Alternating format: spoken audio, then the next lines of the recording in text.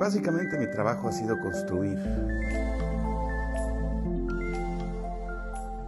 Traté de jugar con, pues, con estos fractales que hacen como una profundidad y entonces tiene como un juego de, de la tridimensión dentro ¿no? del objeto.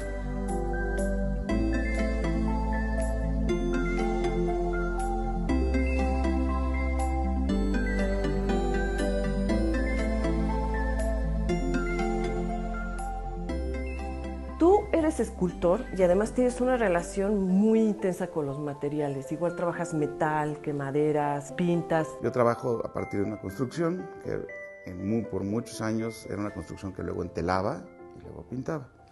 Entonces el volumen está casi en toda mi, mi obra pictórica. Naturalmente se fue haciendo escultórico mi trabajo, pero siempre con esta como particularidad de estar pintado. ¿no? ¿Cómo partes de un objeto predeterminado como este que además es una letra? Es, una, es la letra M, es una sigla.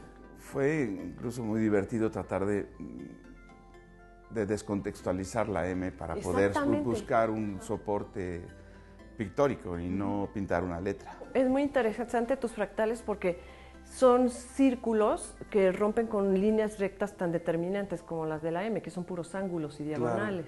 Mi intención fue hacer algo muy orgánico, o sea, que, quita, que le quitara la M esta como cosa triangular y geométrica.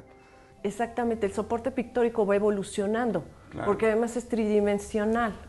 De repente sí lo puedes ver como, como una bidimensión y una tridimensión, ¿no? Se- según si quieres ver la letra o si quieres ver la pintura. ¿no? Es muy difícil despegarse del significado que puede tener una letra en un momento dado. Pues digamos que en este caso sí fue difícil porque no solo es una letra, sino es un logotipo. Tiene un, un contexto muy específico, ¿no? No es una M y ya, es la M de milenio.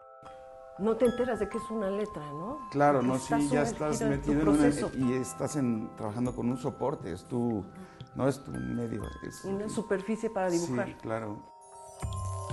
En mi primera exposición tenía tres piezas que habían sido una U, una O, una T, ¿no? Y que así se llamaban incluso, ¿no?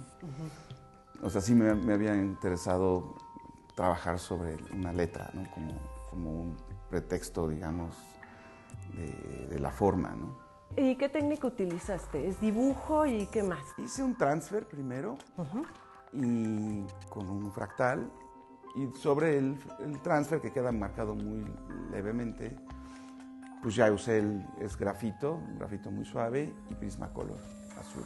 Y luego todo esto es acrílico y tienes que empezar de dentro hacia afuera porque si no ya con, como con el grafito manchas todo. O sea, sí tiene una cosa como técnica complicada, ¿no? Entonces empecé más bien por dentro. Lo que importa finalmente siempre es el resultado de la pieza y que hayas logrado estos movimientos además dentro de la rigidez de las diagonales.